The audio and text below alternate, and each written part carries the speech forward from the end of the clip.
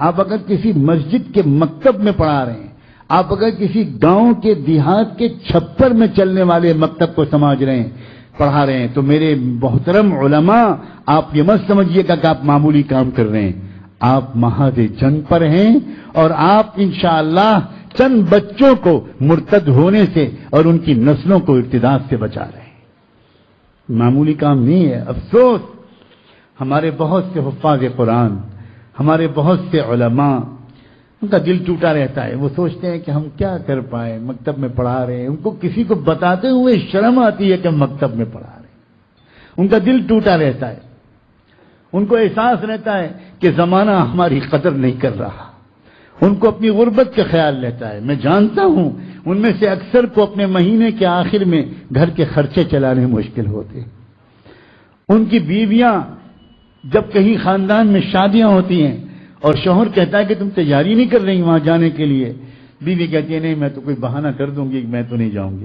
तो क्यों नहीं जाऊँगी इतना करीबी रिश्ता है। तो वो कहती है, नहीं नहीं, छोड़िए, हटाइए। नहीं नहीं, क्या बात है? अब मैं आपको क्या बताऊँ? वो तो जरा मालदार लोग हैं। उनके यहाँ तो बड़े अच्छे अच्छे तोहफे लेके लोग आएँगे।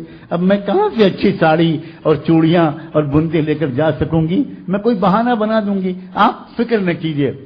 शोहर की आँख में आँसू आते हैं और वो चुपचाप कहीं से कर्ज लेकर आता है और बीवी से कहता है कि नहीं नहीं, तुम जाओ, मैं इंशाल्लाह कर्ज अदा कर दूँगा।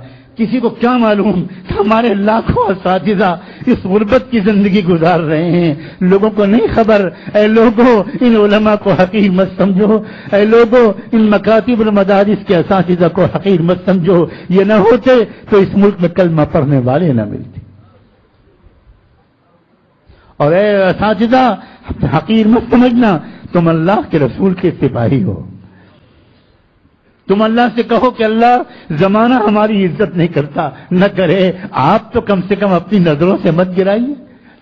अगर कहीं आपकी नज़रों से हम गिर गए, गुनाहों की वजह से तो अल्लाह फिर हम वहाँ मारे गए। न जमाने ने इज़्ज़त की, न आपने इज़्ज़त से देखा फिर हम मुसीबत में हैं। लेकिन अल्लाह, अगर ये बात सही है कि हम मोहम्मद रसूलुल्लाह के सिपाही हैं तो हमको इस गुरबत पर नाज है।